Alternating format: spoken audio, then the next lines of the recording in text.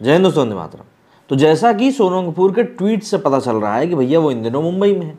अब मुंबई में हों और फिर वही धक्यानुस भरी जो शिकायतों की फहरिस्त होती है, वो ना खुले, ऐसा तो हो ही नहीं सकता। ऐसा भी हो गया। दरअसल मुंबई में सोनम कपूर जिस प्रकार से यहाँ की पिछली सरकार को सपोर्ट करती हुई दिखाई देती थी, चाहे कोई भी मुद्दा, उनको इस बात से सरोकार नहीं होता था, बस वो बिल्कुल भक्ति के साथ सपोर्ट किया करती थी। तो ऐसे में अगर उनको भी हम अंधभक्त कह रहे हैं, पुराना वाला तो शायद बुरा नहीं होगा। अगर हम लोग उनके ही कुछ ऐसे ट्वीट्स देखने की कोशिश करें जिसमें कि वो तारीफ़ों के पुल बांधा करती थी तो ये जो इस समय आप ट्वीट देख रहे हैं ये है आ, मार्च 2020 का। इसमें आदित्य ठाकरे ने एक ट्वीट किया था I received a call from someone with a message from Bengal CM Mamata Banerjee office about eight hundred labours आठ सौ लेबर जो है महाराष्ट्र में स्टक हो गए ये लॉकडाउन की बात है। इसके ऊपर सोनू आहूजा ने देखिए amazing Aditya you guys are doing your best मतलब इनका बिल्कुल सहेली टाइप का संबंध चल रहा है। इसके आगे उसके पहले 6 जनवरी 2020 का एक और ये ट्वीट है। इसमें कि इन्होंने एक और ट्वीट किया, आदित्य ठाकरे ने। इसके ऊपर लिखता है we need leaders like this this is hope इसके अलावा काफ़ी सारे ट्वीट्स आपको याद ही होगा सोशल मीडिया पर एक समय था, एक जैसे वायरल होते रहते थे कि भाई ये लोग बहुत अच्छा काम कर रहे हैं। इसका कि मतलब कहा जाता था कि ये पूरा पीआर स्ट्रेटजी के तहत जो है पूरा काम किया जा रहा है। अब ऐसे में, सोनम जी अभी फिर से मुंबई में दिखाई दी और उन्होंने एक ट्वीट किया वहाँ की बदहाली को लेकर। इन्होंने लिखा कि it's torturous to drive through Mumbai it's taken me an hour to reach Bandstand from Juhu too much construction and digging everywhere pollution is through the roof what's going on मतलब कि हर जगह पर कंस्ट्रक्शन चल रहा है, गड्ढे खोदे जा रहे हैं, मुझे एक जगह से दूसरे जगह पहुँचने में एक घंटा लग गया, ऐसा नहीं होना चाहिए, वही सब जो रोना होता है। लेकिन बात वही है कि इन लोगों को यदि हम डेवलपमेंट के नाम पे अगर कंस्ट्रक्शन करते हैं, उससे भी समस्या होती है। बेसिकली बात यह है कि इनको हर चीज़ से समस्या होनी है। और अब तो वैसे भी आदित्य ठाकरे की सरकार गिर चुकी है तो इनके पास तो और ज़्यादा बहाना मिल गया है बुराई करने का।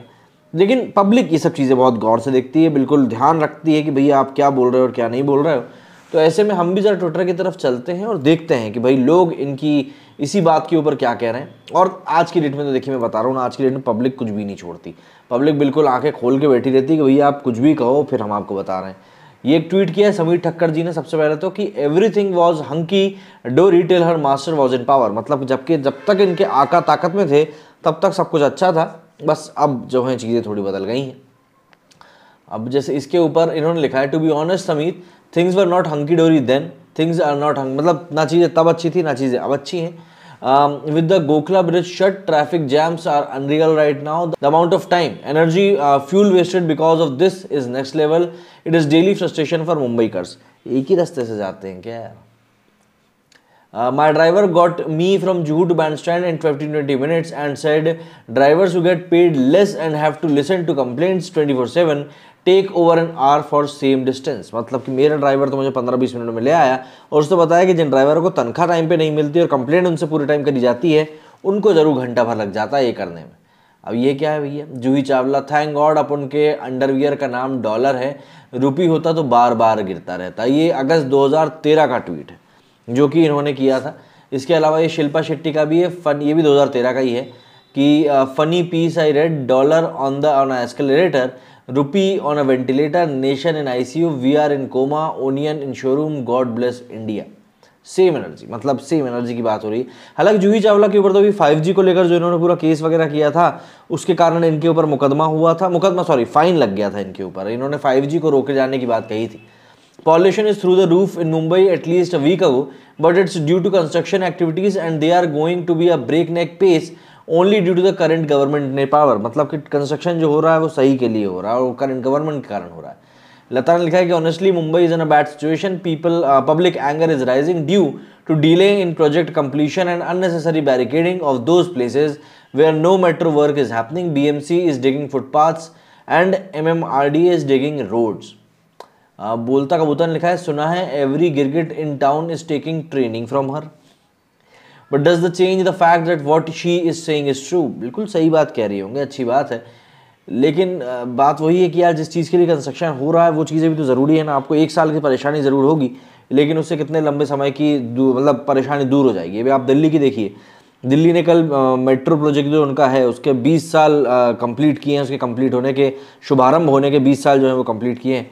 और आज दिल्ली जो है, बिल्कुल मेट्रो के इर्द गिर्द ही घूमती है। मतलब मेट्रो उसके लिए बहुत ज़रूरी हो चुका है। तो अगर तब दिल्ली के लोगों ने शायद उस कंस्ट्रक्शन का विरोध किया होता और कहा होता कि नहीं, धूल जक्कड़ हो रहा है तो आज दिल्ली के पास वो सुविधा भी ना होती।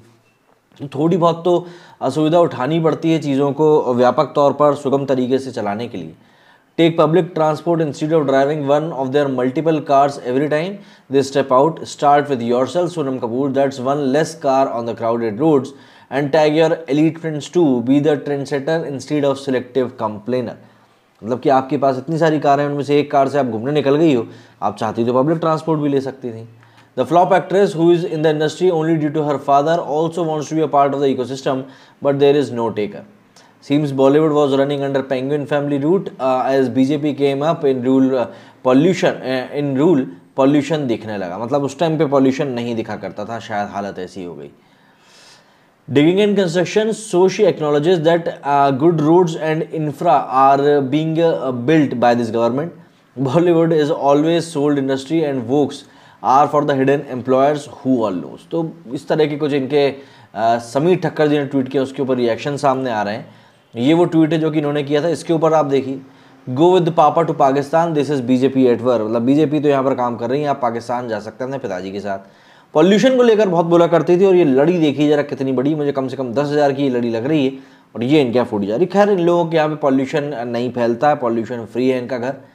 हम्म, अभिषेक ने लिखा है कि प्यारी सोनम देश में मज़बूत विकास हो रहा है थोड़ा सा कष्ट सहना पड़ेगा मेरे एक दोस्त की राय है। मतलब कि डायरेक्ट मैंने नहीं कहा है। प्लीज़ मैडम अंबानी के लड़के से मेरे दस हज़ार आठ सौ रुपये दिलवा दो। Mumbai is upgrading man network inconvenience is regretted Sanjay ने लिखा है कि Amazon cheated me and never delivered for few deliveries since you are in Mumbai and free can you ask Amazon to refund my money मतलब देखिए, लोग तो अपनी तरीके से बोल ही देते हैं। Welcome to the big city in urban India Amritkaal, Anoop Sharma ने लिखा है, भारत जोड़ो यात्रा वाले। रिया ने ट्वीट किया है कि जल्दी का काम शैतान का। It's scary to see the speed in road work sometime something doesn't seems good I fear चालू काम which is not a good news लो, अब काम तेज़ हो रहा है, उसमें भी इनको समस्या है। मतलब समस्या ही समस्या है। तो इस तरह के कुछ रिएक्शंस हैं जो कि सोनम कपूर के अब इस पूरे फियास्को को लेकर सामने आ रहे हैं। और वैसे भी जो सिलेक्टिव कंप्लेनिंग होती है ना कि एक तरफ़ तो आप बोलते हो कि नहीं, हमें दिक्कत हो रही है, लेकिन दूसरी तरफ़ आपको लगता है कि नहीं, सब कुछ गुलाब की पंखुड़ी की तरह साफ़ है। वो कहीं ना कहीं चीज़ों को थोड़ा सा out of the way out of the proportion ले जाने का काम करता है। लेकिन अक्सर होता है, कई बार लोग इस चीज़ की तरफ़ ध्यान नहीं देते हैं। बट ये चीज़ें होती हैं ध्यान देने वाली। और अगर आप ध्यान नहीं देंगे तो ऑब्वियस ही बात है, परेशानी आपको ही होनी है। सोनम कपूर के ऊपर काफ़ी बार लोगों ने ट्रोलिंग वैसे भी की हुई है, क्योंकि जिस तरीके से ये पेटा को लेकर बात करती हैं, पॉल्यूशन को लेकर बात करती हैं, इनके खुद ही के घर के जो फ़ंक्शंस होते हैं फैमिली फ़ंक्शंस वगैरह, वही बार बार निशाने पर आते रहते हैं।